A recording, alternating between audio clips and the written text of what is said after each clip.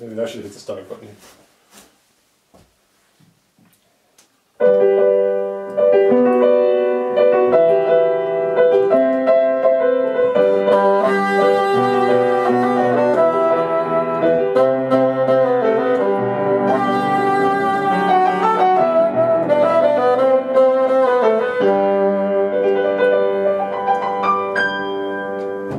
Michael?